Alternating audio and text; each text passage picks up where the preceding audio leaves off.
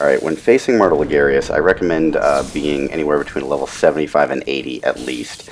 Uh, I also recommend using a one-handed weapon because you're going to be doing a lot of visceral attacks. Uh, he's very vulnerable to attacks.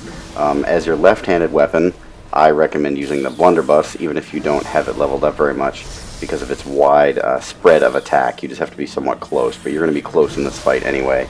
I also recommend using the uh, Tonitrus as you can see here because you don't waste uh, a lot of um, Quicksilver bullets trying to add damage to it, um, and you don't need to use fire paper or bolt paper or anything.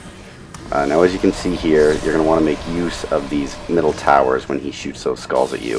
If you're anywhere, um, any distance away, um, you're going to want to get as close to him as possible so you can quickly dodge that attack, get two attacks, and then move away you're going to want to try to not get directly in front of him because he has a very quick arcane skull attack that will knock you backwards that you really don't have time to see coming. See right there, he knocked me back with it. I was too close in front of him. Now when he starts walking slowly at you like that, like walking like a badass, that's when he's going to swing his weapon at you and you can get a visceral attack. See, he even hit me and I was still able to get a visceral attack.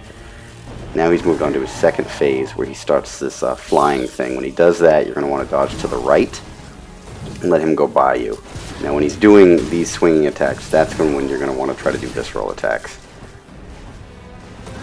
Let's see, right here I'm too far away to do them. I heal when I'm at a distance.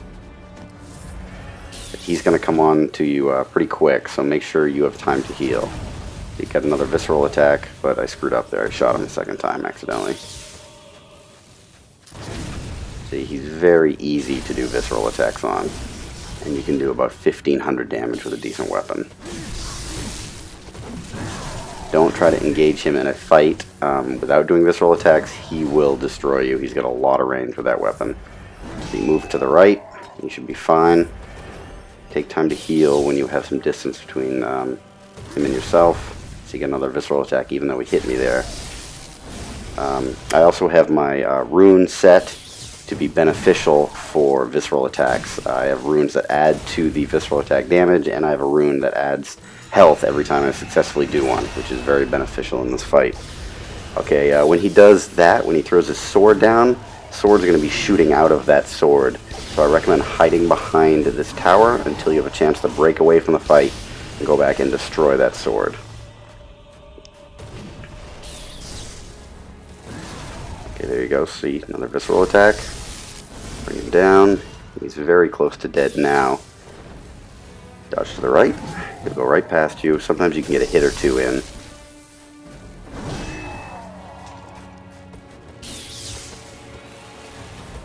I'm not sure why he wasn't swinging at me here. Dodge to the right. See here, he was actually so close to death, I just kind of went for it. And got lucky. That can backfire on you. But uh, now that he's dead, make sure to go up and pick up the Crown of Illusions, which he just dropped. Uh, you're going to need that later. And uh, then go light the lantern, and you're done.